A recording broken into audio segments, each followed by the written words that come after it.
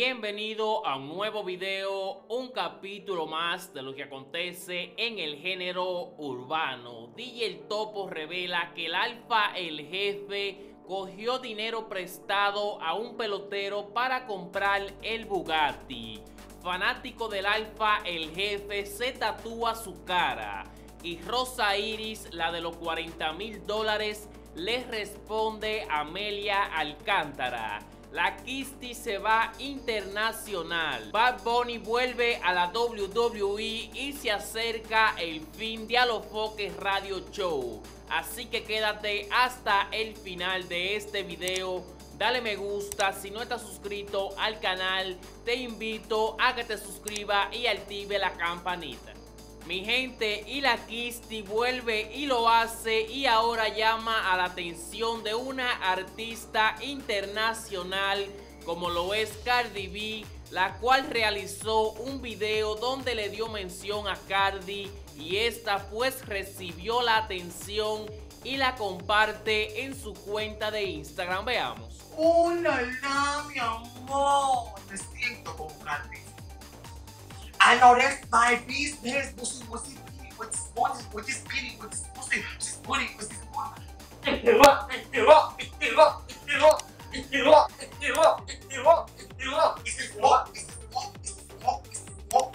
Bueno mi gente, la Kisti y la ñata llamaron tanto a la atención a Cardi B en ese video que ella no lo pensó para publicarla en su cuenta de Instagram y etiquetándola está teniendo millones y millones de seguidores. ¿Hasta dónde puede llegar el fanatismo de una persona hacia un artista? Resulta que un fanático del alfa, el jefe, se tatúa el brazo completo con la cara del alfa y este pues se hace viral en las redes sociales. Veamos.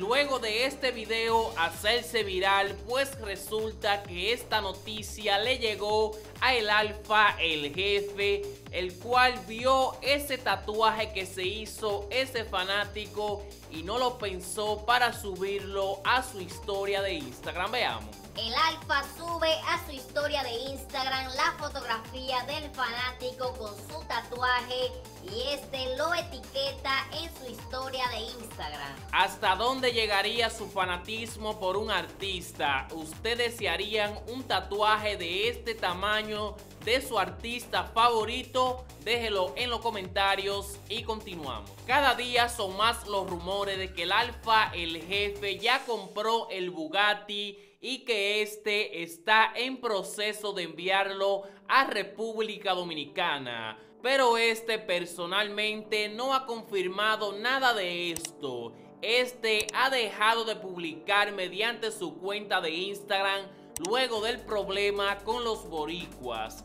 Pues resulta mi gente que andan los rumores de que ya lo compró y que el Bugatti viene camino a República Dominicana. A lo que DJ El Topo revela que el Alfa, el jefe, cogió dinero prestado a un pelotero para este poder comprar dicho vehículo. Veamos. Cuando el líder se va por Europa, cuando él cumple y complazca a un grupito y él se quede con su lío se va a quedar con un lío grandísimo, debiéndole a peloteros. Yo ni quiero, yo ni quiero decir ustedes, señores, haciendo negocios con políticos, a ver si puede cruzar algo con una exoneración. El artista dominicano, el Alfa, el cual es el artista supuestamente, entre comillas, más internacional que tiene República Dominicana, no publica nada en su Instagram porque se siente mal porque no ha podido comprar un Bugatti.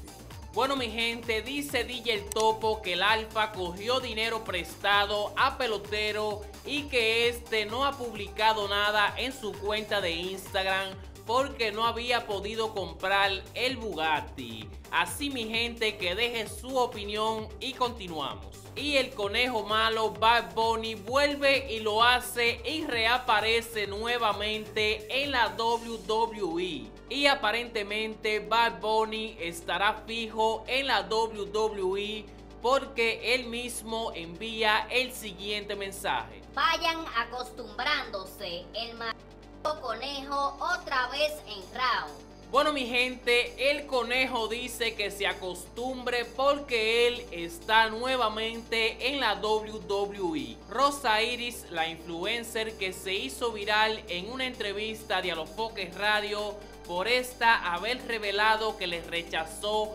40 mil dólares a un hombre por una noche. Pues resulta que Amelia Alcántara opinó del tema y dijo que esta nunca en su vida había visto 40 mil dólares junto en su mano. A lo que esta en una reciente entrevista con el doctor Nastra, pues le responde Amelia Alcántara y la pone clara. Veamos. Oh, 40 mil. Cuando Amelia quiera, yo lo pongo y se lo pongo ahí.